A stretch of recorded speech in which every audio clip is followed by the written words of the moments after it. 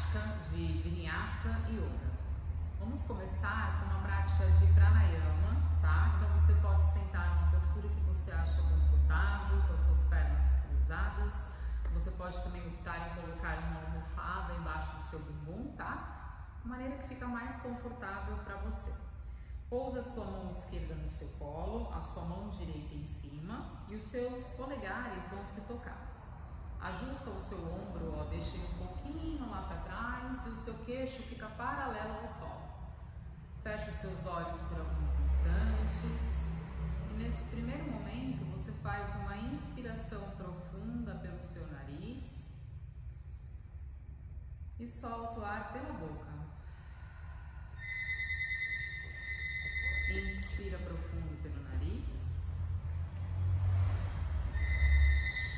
solta pela boca. Agora você vai se concentrando mais na sua respiração nasal. Vai observando o caminho que a sua respiração faz. Inspirando, você observa o seu diafragma descendo, o seu peito se expandindo, passando ar pelas suas costelas, expandindo suas costelas, crescendo o seu ombro. E ao exalar, observa o caminho contrário. O ar vai descendo, você vai sugando o seu abdômen para dentro. Então, novamente, inspira. Abdômen vai lá para fora expande o peito, expande as costelas. Ao exalar, você vai com o abdômen lá para dentro. Você vai ficar nessa respiração pelo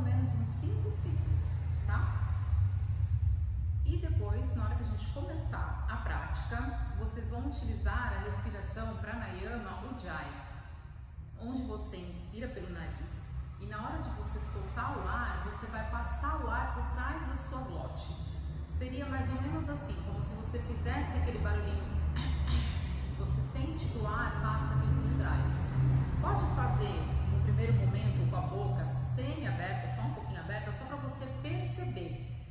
o barulhinho que sai, tá? E perceber essa respiração. Depois que você já estiver acostumado, você faz com a boca fechada, tá bom? Vamos lá então.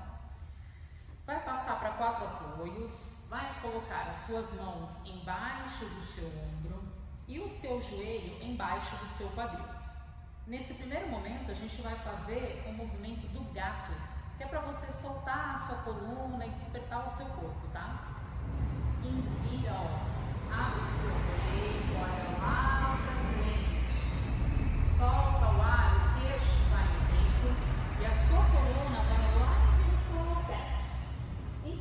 Observa você massageando a sua coluna, trabalhando vértebra por vértebra. E nesse movimento você já coloca sua respiração Ujjayi. Inspira, solta o ar.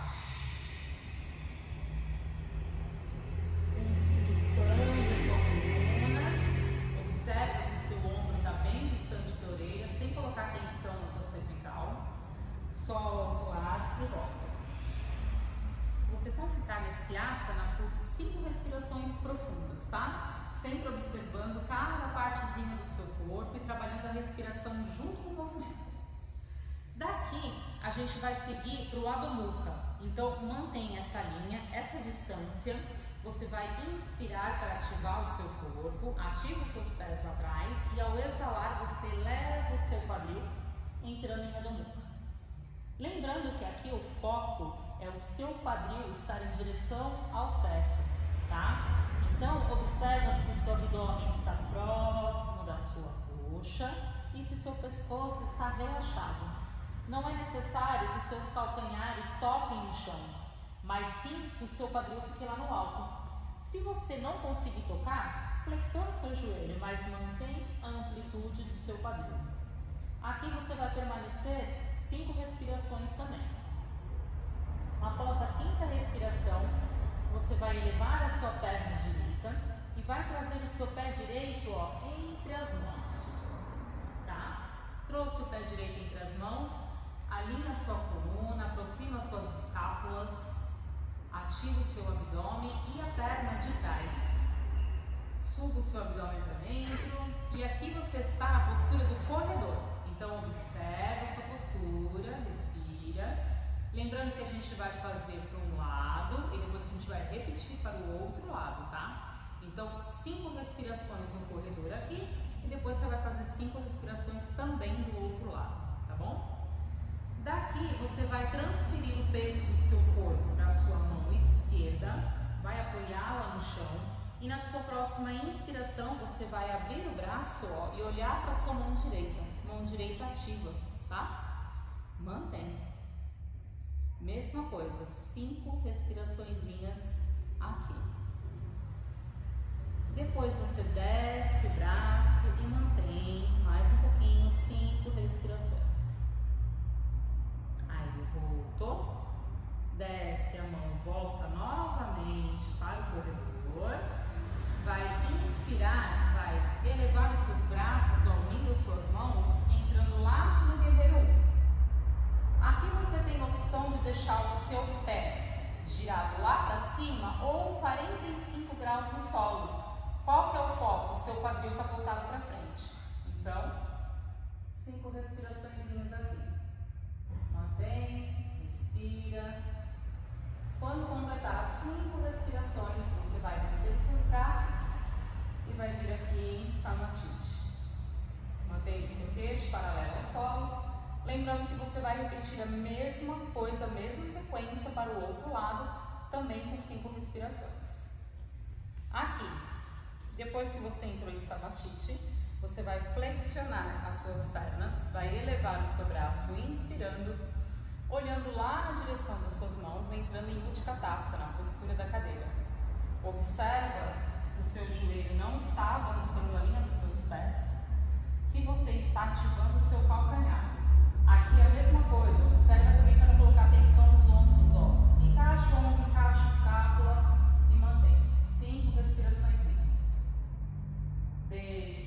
Voltei em Samashit.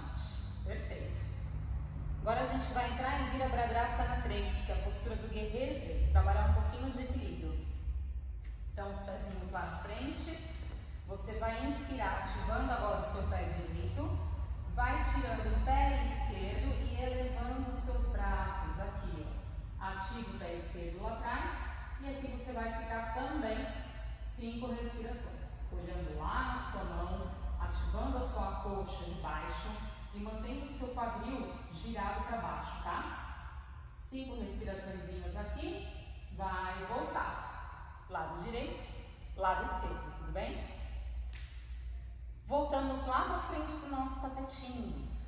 Aqui, a gente vai fazer agora uma vinyasa. Então, seria o Surya Namaskar A, a saudação ao sol, como todo mundo já conhece. Pés unidos em Tadasana, braços ao lado do seu corpo. Vai inspirar elevando os seus braços, olhando lá no seu dedão. Exala, entre em Uttasana, ó, desce com as mãos lá do lado dos seus pés. Se você não conseguir alcançar, flexiona o joelho, tá? Olha lá no seu joelho, inspira, abre o peito, retifica sua coluna, olha à frente e dá um passo bem grandão, ó, com a perna direita, perna esquerda, entrando em prancha. Aqui, ativa bem as suas mãos, mantém o seu abdômen contraído e observa para você não afundar a sua lombar, tá? Suba o abdômen, mantém. Mesma coisa, cinco respirações aqui. Daqui a gente vai passar para a prancha lateral. Então você pode optar em fazer ou com a mão, ó, transfere o peso para a mão esquerda, gira, olha para sua mão direita. Se para você tiver um pouquinho puxado aqui, você vai fazer com o seu antebraço, mesma coisa. Eu estava em prancha, eu viro meu antebraço, girou os pés, Subiu. Aqui, pensa que tem um fiozinho, ó, tracionando o seu quadril lá pro teto. Não deixa ele cair. Sustenta. Cinco respirações.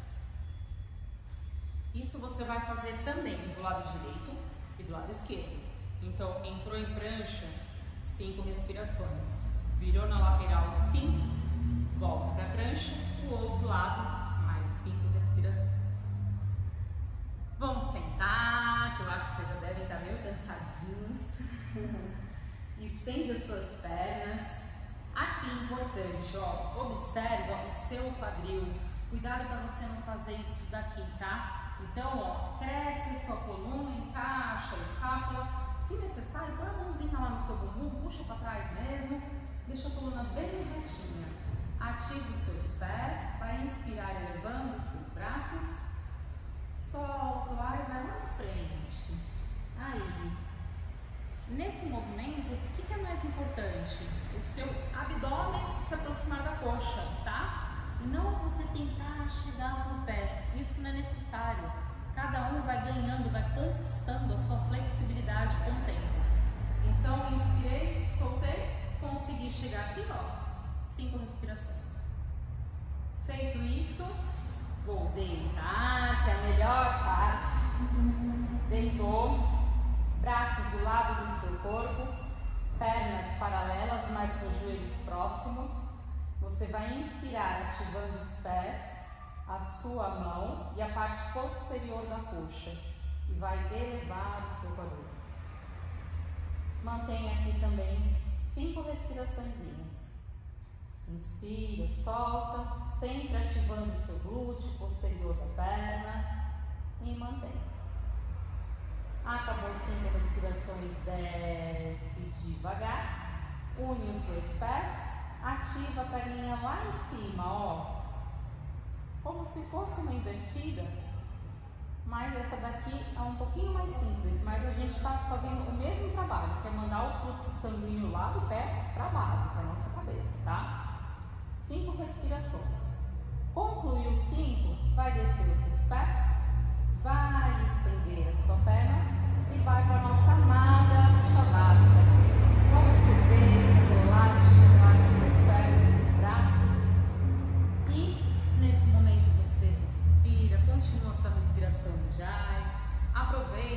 fazer suas visualizações, trabalhar os seus chakras, suas afirmações. Bom, é isso, gente. Espero que vocês tenham curtido, que vocês tenham gostado. Depois vai ter mais. Muito obrigada. Namastê.